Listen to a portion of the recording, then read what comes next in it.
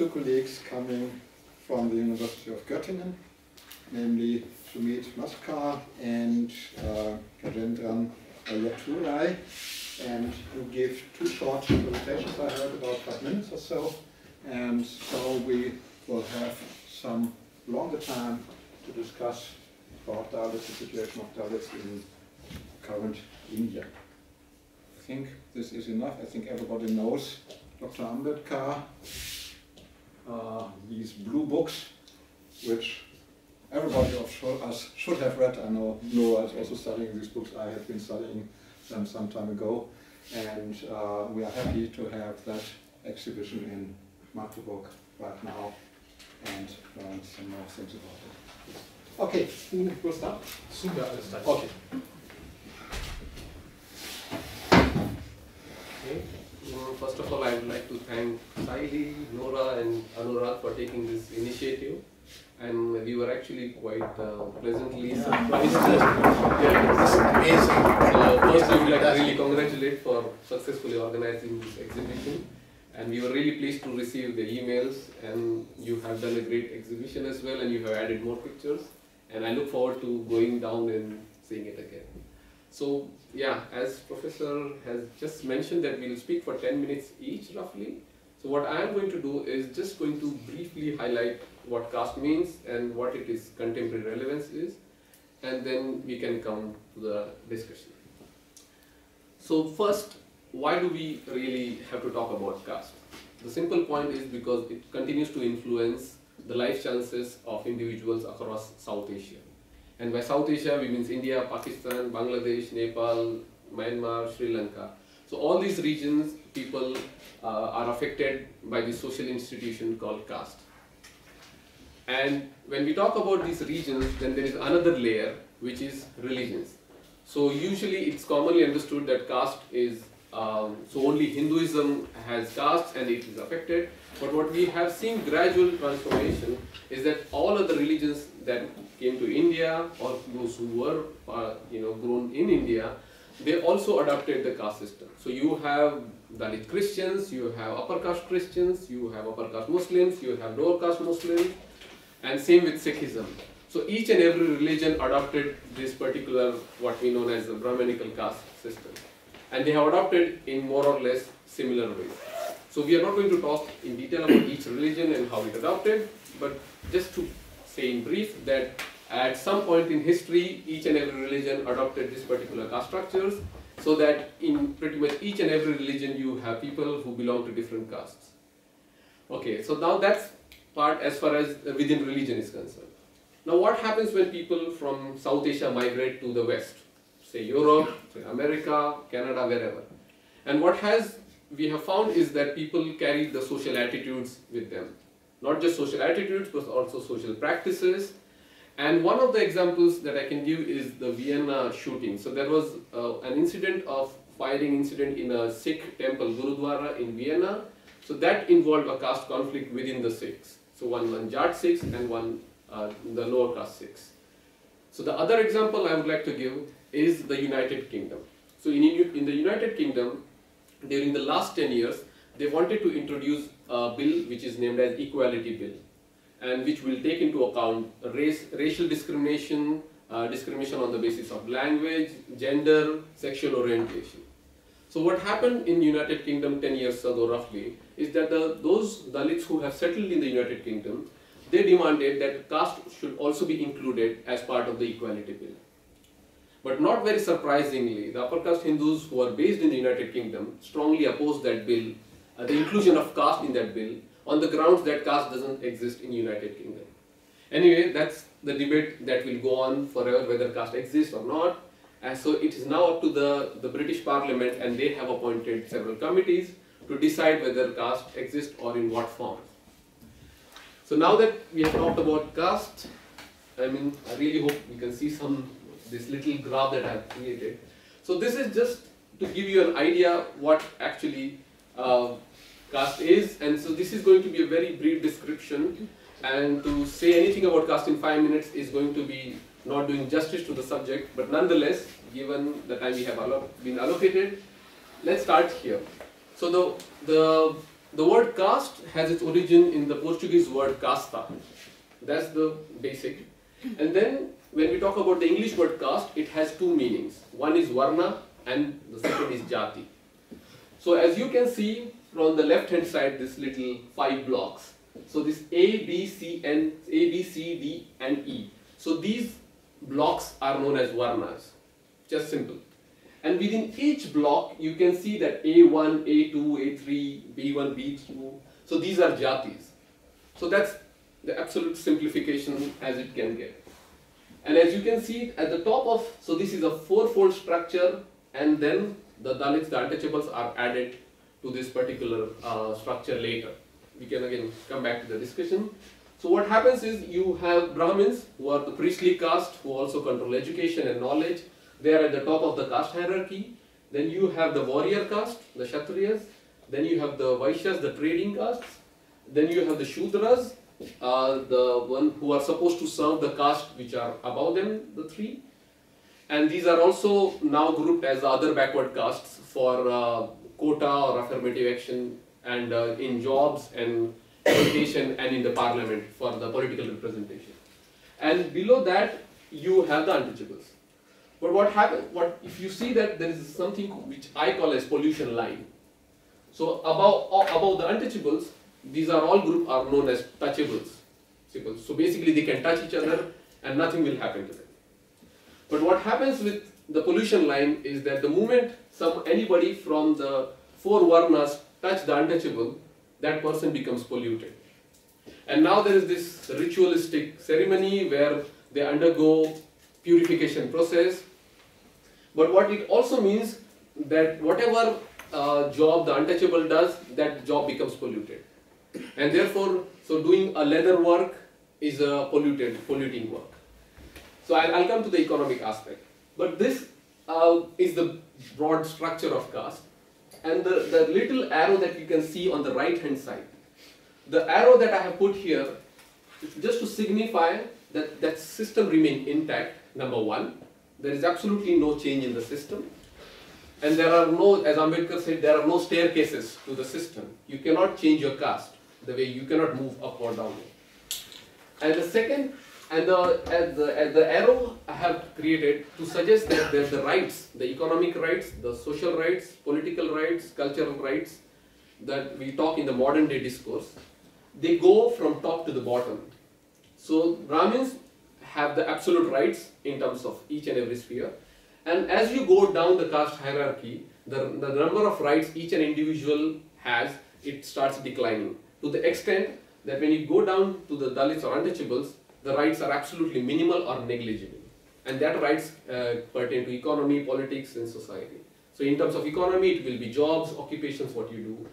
Just so just a quick comparison for like a one minute. As you can see, in terms of the so this is a very crude description of class structure, but this is just in terms of economic description of like wealthy, rich, upper middle class, middle class, working class, and poor. So the arrow that you go in both directions suggests that with all its problems, one can move upwards and downwards. And that's what suggests a fluidity in that society. And that's what we don't have fluidity here. The fluidity is, uh, uh, say for example, a Dalit can become a wealthy rich, but his or her social status will not change. And same with Brahmins. The Brahmin can be absolutely poor, but his or her social status will not change. And that's why it's absolutely stagnant society in terms of social status. Of course, the economy changes, and with that, you will have class variations within each group. But the point itself is your social status doesn't change. So now only like five features. The first feature is, is it uh, of the caste is it is hereditary, that it is passed on through generations and it is non-changeable. You cannot change your caste if you want.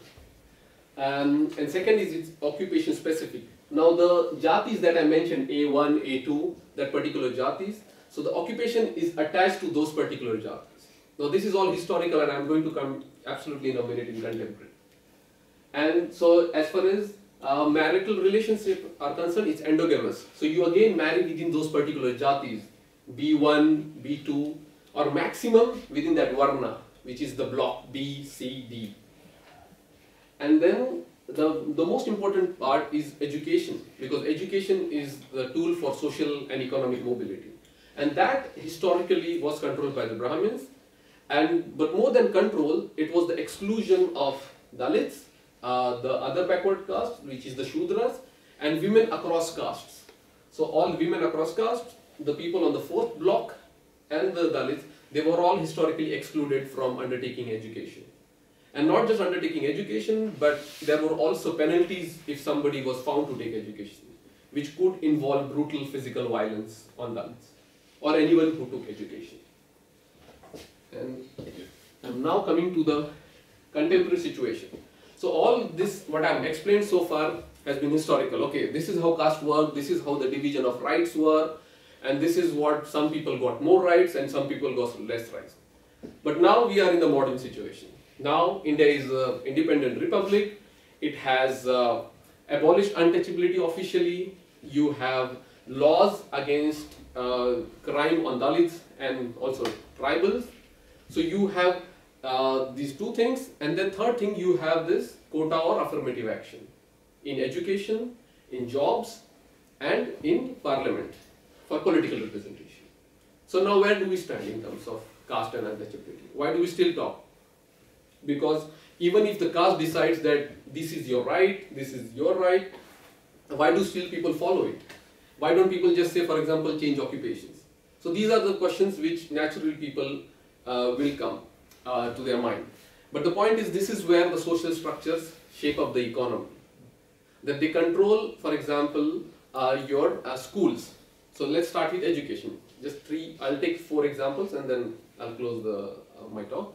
So first is let's say education. So you have across uh, like throughout the history from the mid 19th century and up to the present maybe, but throughout the history in terms of schooling education, you have lots of cases uh, about discrimination in the schools where the Dalit students were kept outside the classroom and they had to sometimes take education sitting nearly outside the classroom or they were facing discrimination inside the classroom uh, as far as their marks, giving their marks in the examinations. So there are different variation, various levels of discriminations that happened in the schools.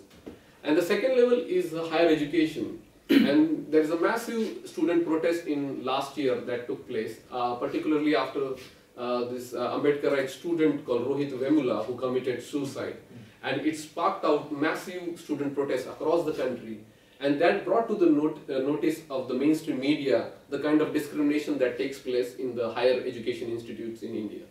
So that's one aspect. So the point I'm trying to you know stress here is that officially caste is abolished, you can be punished for practicing caste discrimination, but these things persist because those who are sitting in say the you know controlling the power in police stations, in schools, in offices, in doctors, so you have various levels they bring in their caste prejudices and they continue to practice discrimination and continue to have the system some way or the other.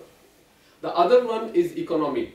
Uh, as far as economy is concerned, now technically one should be free to choose anything.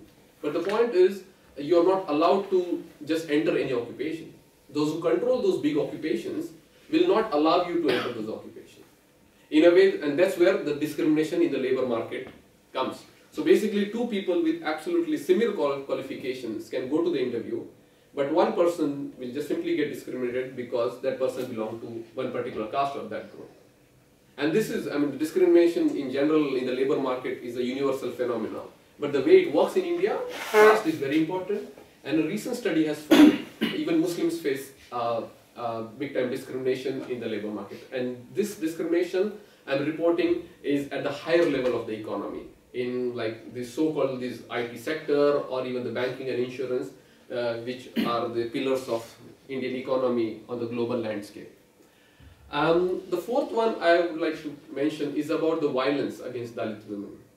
Now, because of all these caste uh, changes that are taking place, one of the ways that uh, you know Dalits are taught to be put in place is violence against the community in general, but also Dalit women face the absolute brutal violence in terms of rape and also physical violence. And the last point I would like to make is about the intercaste marriages. So for example, I explained in the previous slide that you have these fixed marriages within that particular jati, within that within that particular block, or within the, in the within the sub block. But what happens now is that even if there are attempts to cross that caste boundary, that can actually result in honor killing. So both the person, both the bride and groom uh, can be killed. And if you look, if you just Google honor killing India, pretty much every week there is one case reported on this particular issue. Yeah, and I think I'll stop on that point. And yes, thank you.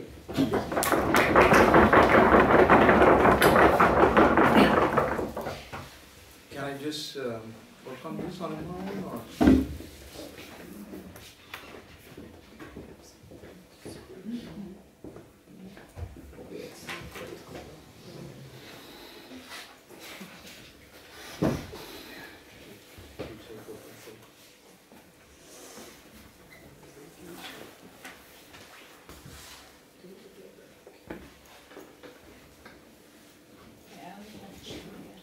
Think you go to Ah. Friendster maybe? PDF No, but that's fine. You can, you can make it full screen. Control this one. Control? Control L. Yeah, good. very good. Scroll down, I can use that. Ah, I can. So, um, thanks again, guys, and it's been fantastic. We were really surprised um, to receive this invitation. Um, and, you know, we didn't communicate to you on your own. You guys picked it up from uh, the internet, and then we never thought uh, what we did in Göttingen would really spread around in Germany, and of course went around the world too. So thanks Nora, thanks Sahili and Anurag and other friends who've been part of this. Now, um, I just wanted to speak on critical modernity and West, vernacular history of the margin. And so I'm going to just build on what Sumeet said. You know the structure and how do we see it? What do I mean by critical modernity? I'll just go step by step. So modernity, the moment I utter the word, comes from the word modern. What does it mean? So the medieval came to an end with the word modern. That means